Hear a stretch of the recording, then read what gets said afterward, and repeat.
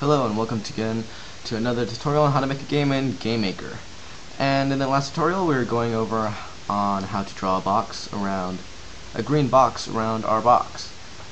And uh, we went into our draw method and we're trying to draw a green box around our box when our player uh, came within our rebuild distance. So uh, in the last tutorial it didn't seem to work, but actually it was working. It, I don't know if you noticed, but if you went within the rebuild distance, it actually did draw uh, not a green box, but a black box. That is because we forgot to set the color of the box. So it didn't look like anything almost, and it was hard to uh, to notice. So you want to draw another rec. No, actually, sorry, I'm getting confused. Okay, so you want to just uh, put a draw set color method here, and we want the color to be green. Okay, look, looking good. And let's go ahead and test that. Uh, just a second, I'm going to close them. Okay, I minimized most of the things. Okay, go ahead and run it. Okay, loading, loading, loading. Okay, just wait for it to load. I'm going to pause it until it's done. Okay, so it's done loading, and let's go ahead and see if it works. Okay, good. So I'm not sure if you can see it on the video, but when I go close enough to these uh, boxes, they actually have green boxes around them. So that is a good sign. And actually it's seeming to be a little bit thin and uh, I want it a little bit thicker. So we're actually going to do that right now. And if I'm not mistaken, I think there was a method. I'm going to pause it real fast and try to find if there is a function or method that will help us uh, complete this. Just a second.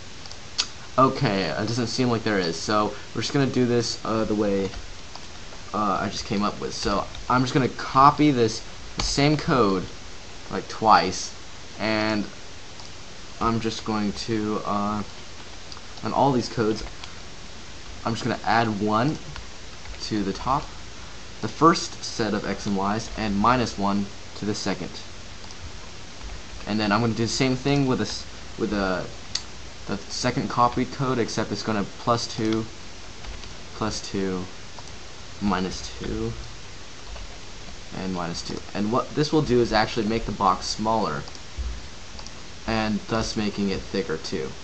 So it should be like 3 pixels thick because we're draw actually drawing 3 boxes. And uh, that's what we want. Okay. And as you can see that is pretty bold those green boxes. Okay, yeah, that that is quite a bit. Uh, and it looks like actually we're missing. Uh, I think I messed up on one of the boxes. Oh yeah, I did minus two instead of minus one. So there we go. Uh, so that's basically how to do that. And it's actually looking a little bit too thick, so I'm just gonna get rid of one of the boxes. So it's gonna be two pixels thick. So, after we do that, we're actually going to go into uh, having the boxes do stuff, or rebuild. So, actually I'm just going to put the code down here, so I'm just gonna, let's uh, put our check, just say check if rebuilding box. So, if the, actually we can just copy that code we made earlier, right, these set of if statements right here. It's pretty much exactly the same. Okay, we want to check if the player actually does exist, and also we want to check if the box is within the player's reach, or building reach.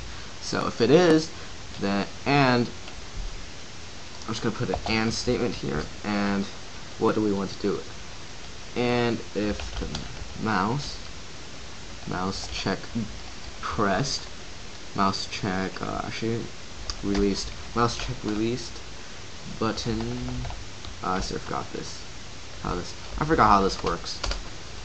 Oh I think it's like VK yeah VK okay. VK uh, actually sorry I have to check how to do this. Okay I figured it out I just forgot. Okay so I'm gonna put MB or short for mouse button. And we want to check if the right mouse button was pressed. So basically we're saying if the distance between the player and the box is less than the rebuild distance and you're right clicking oh and we want to check another thing and mouse mouse uh, let's see mouse. Yeah sorry. And a point distance. Just copy this. Point distance. Object command dot x. And we want to just change that to mouse x and mouse y. So we're going to check the distance between oops that's wrong. We're going to change object man dot x to mouse x and mouse y and this will basically just check the distance between the box and the mouse. And we want this to be less than uh, sprite width divided by 2 which is basically just the radius of the sprite.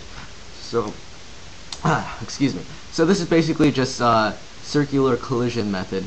Uh, basically this is just checking if the mouse is on uh, on the box and if you're pressing it. So that's basically all that that does. Sort of long if statement, but that's what it does. So once uh, the player clicks the mouse and everything's legit, we're just going to reset the HP to equal HP max. So HP equals HP max.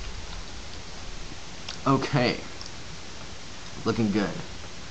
So, uh, Actually, I'm, instead of wasting your time and debugging it and then seeing if it doesn't work, I'm just going to debug it right now and come back if it actually works. Okay, actually, you know, there's a couple things we have to do first. Uh, go into your box uh, step event and you want to add image index equals zero. And what basically this will do is set the image index to the first uh, box image, which is basically the healthy box or yeah basically the non-damaged box.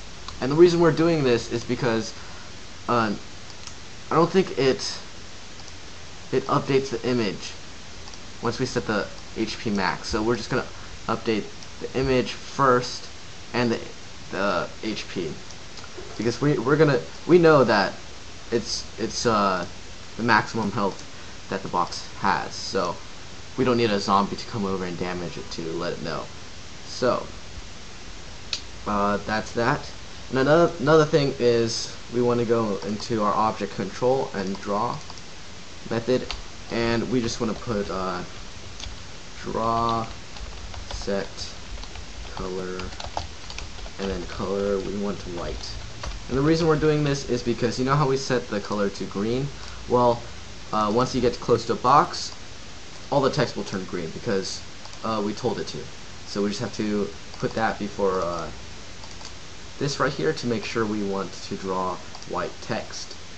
And on the enemy spawner, I'm just going to uh, make the zombie time equal the zombie max time so we don't have to wait 20 seconds or so for or however many seconds for zombie to spawn so just zombie time equals zombie max time. And that will save us debugging time. So let's go ahead and test this and hopefully it will work. So I'm going to pause it until it's done loading. Okay, so it's done loading. Oh, the zombie's already coming. So as you can see, when I right click on these boxes, see if I'm right clicking but nothing happens. But when I see right click and I'm next to them, the box is rebuilt. So Okay, that zombie broke down that wall. Look, I'm rebuilding it. Okay, good. So, it's working right now. Looking good. Looking very good. So, now you got a, got a little game for yourself. Keep trying to rebuild your barricades, and the zombies keep trying to get in. So, uh, thank you for watching this video. I appreciate a rating, and I'll see you in the next tutorial. Thank you.